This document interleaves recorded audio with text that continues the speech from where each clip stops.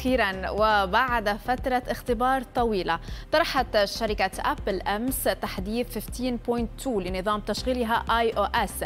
هذا التحديث من أبل يختلف عن الباقين بأنه جمع إصلاحات لمشاكل وثغرات أمنية هائلة بالإضافة إلى أنه طرح معه ميزات وخدمات جديدة عديدة. أبرزها ميزة كانت أثارت الكثير وقت الإعلان عنها وقبل حتى طرحها وهي تتعلق بوصول الصور المخلة أو غير الأخلاقية لهواتف أطفالنا.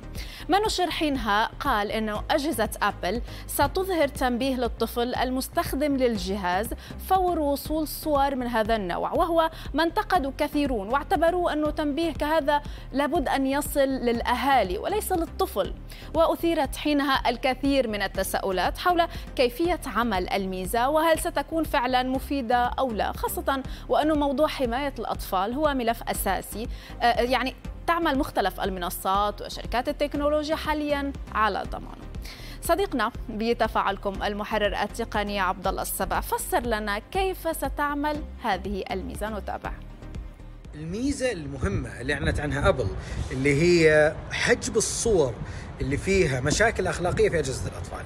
ابل اعلنت عن هذه الميزة قبل فترة إنه فكرتها بشكل بسيط إنه أنت لو ربطت جهازك مع جهاز طفلك ووصلت صورة غير أخلاقية إلى جهاز طفلك من أي شخص سواء من أصدقاء أو من شخص كبير في السن وغيره. الصورة راح يطلع عليها على قولتهم شعار معين الطفل ما راح يقدر يشوفها. لما تجيك يجيك تنبيه على جوالك أنت إذا جاك التنبيه مباشرة تشوف تروح لجهاز طفلك وبعدها توقف إنه أو تحذف هذه الصورة أو تمنع إنه يشوفها وغيرها فالصور الغير أخلاقية لو وصلت الأطفال الأطفال راح يطلع عليها تنبيه لما الأب يجي يشوف هذه الصورة ويعطيه صلاحية إنه يشوفها أو لا وهذه بتفيد الاباء على المدى الطويل إنه لو في شخص قاعد يبتز الطفل أو في شخص قاعد يسبب مشاكل للطفل وين راح تقدر تكتشف هذا الموضوع حتى لو الطفل ما قال لك. طبعا لازم تكون أنت وجهازك مربوطين في الأكلات عشان تتفاعل هذه الميزة.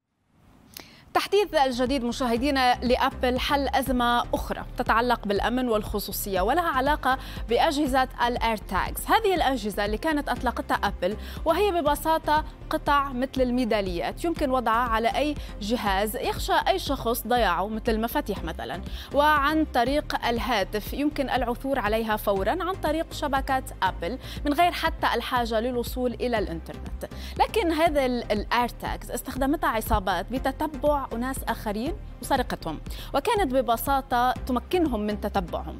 أبل بهذا التحديث حلت هذه المشكلة وأوقفت إمكانية تتبع آخرين لجهازك وأطلقت تطبيق لهذا أيضا لمستخدمي أجهزة أندرويد لمنع تعقب من يملك الأيرتاجز لأجهزتهم. المحرر التقني عبد الله السبع وضح لنا أيضا كيف بتم ذلك. خلينا نتابع.